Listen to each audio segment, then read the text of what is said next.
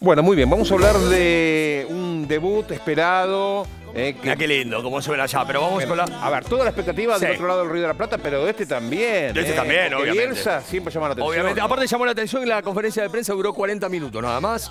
Ah, mirá. Bien, antes duraba una respuesta eso. con angina. Pero nos metemos en la vida de Uruguay porque Marcelo Bielsa, el flamante Qué entrenador, grande, loco. allí debutó con la Celeste goleando a Nicaragua. Claro, Es no bueno, es, Es uruguayo, es bueno. no es, bue- no es eh, parámetro Nicaragua, de todos modos sí es bueno debutar con una victoria y más, con goleada más con los chicos del sub-20. ¿Jugó alguno? Primero, eh, tuvieron minutos en el segundo tiempo algunos Mirá. de ellos, pero la verdad que también respetó. De los Santos, ¿eh? Hay varios jugadores. Y hay un Boselli, Boselli Sí. que quiere River. Díaz. El que eh, Anderson Duarte, el goleador. Hay varios jugadores del sub-20, pero Matías Arezo marcaba el 1 a 0. Rodrigo Salazar.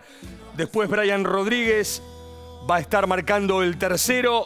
Otra vez Salazar el cuarto. La goleada que dejó tranquilo Marcelo Bielsa porque la mayoría fueron componentes de la selección mayor en un proceso lógico que Uruguay necesita hacer también, Ale. Como pasó con Escalón y la Igual selección argentina. ¿no? Jugaron contra el. Un reca- Sí, el bueno. equipo de nuestro compañero Diego ¿sabes lo que Weinstein pasa? Pero hay que ¿eh? jugar, pero hay que jugar. Sí. Estaba en el equipo rival jugó Weinstein, es verdad. Sí, fue el 10 del equipo nacionalizado, Bueno. eh, pero estaba a buen ritmo. Bueno, Estaba a buen escúchame, ritmo, eh, sí. el- no estaba lleno el estadio. Eh, no, bueno, un ¿eh?